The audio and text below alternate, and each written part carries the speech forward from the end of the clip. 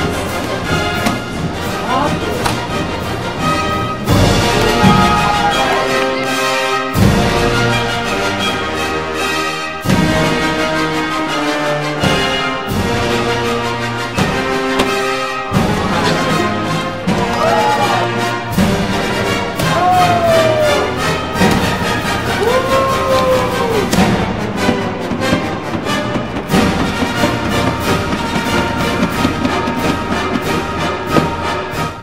So why did that just happen? Why did it make that cool vortex?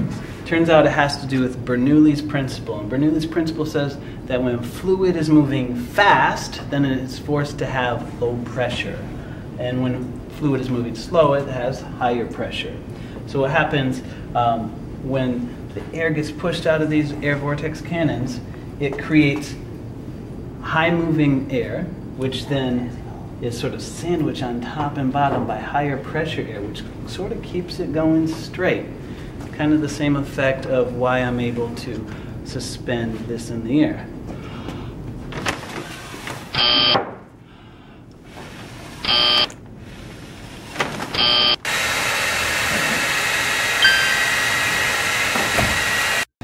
So then this air up here, it's going to want to go from high to low pressure. And this wants to go from high to low. So it all kind of wants to go from high to low. So we kind of get this curling effect. Oh, that's just a 2D picture.